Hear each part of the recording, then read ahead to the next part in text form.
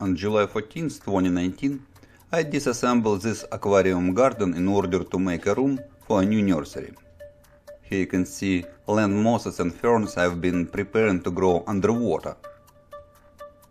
All look good and ready to go underwater. Let's remove the top garden. Notice how the walls of the aquarium are covered with algae. But the water in the aquarium is crystal clear. In the past I used different methods of cultivating algae. It's time to try something new. I move the fish and plants from this aquarium into another nursery. I reuse everything from my old aquariums.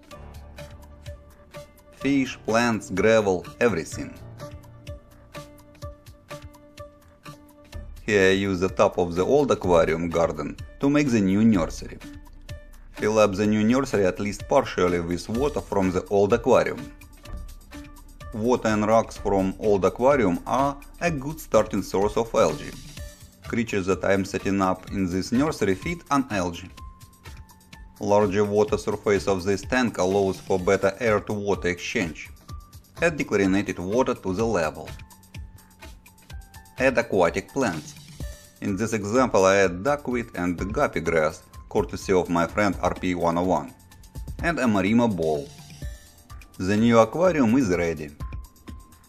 On July 15, 2019, I received a package of Gammarus Hyalella azteca amphipods, also known as scuds.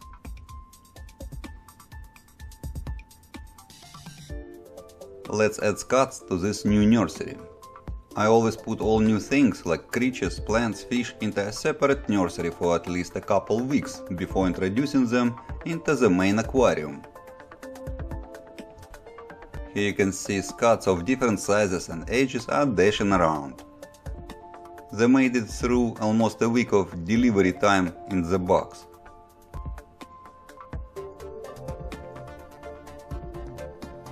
I feed them a generous pinch of homemade fish food flakes. Uneaten flakes boost algae growth.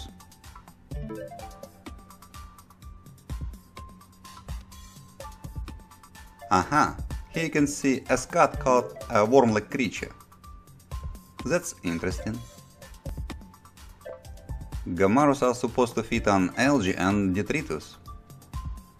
Apparently scuds don't mind to try live food too. Here is another scud going after live food. Adult scuds are much bigger than seed shrimp. I wonder how they are going to get along. Cover the nursery to reduce evaporation. Place the nursery next to the window but away from direct sunlight. Fish food and light are good for algae growth. Here are a couple Gammarus eating a flake of fish food.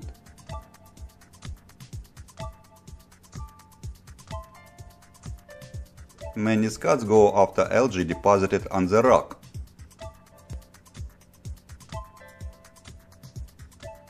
Scuds attack every available piece of food. Gammarus are very active swimmers.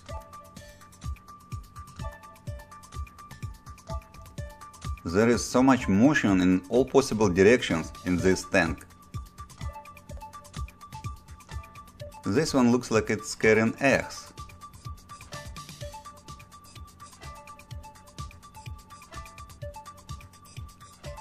I add a cutting of LED and some hornwort.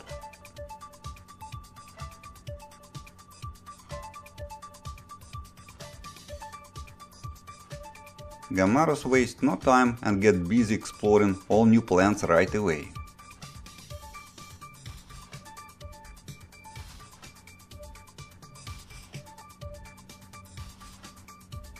I use seashells to anchor plants.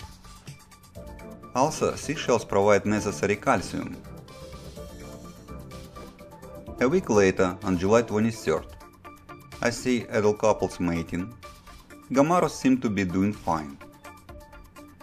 There are very small Gammarus babies feeding on algae. Here is one crawling on the wall. Some amount of waste has already accumulated on the bottom. Scuds seem to find enough food grown in the aquarium, so I don't have to feed them. I am gearing up to find Gammarus favorite food, and to see how my dwarf guppies would like Gammarus. Have fun and happy aquariums!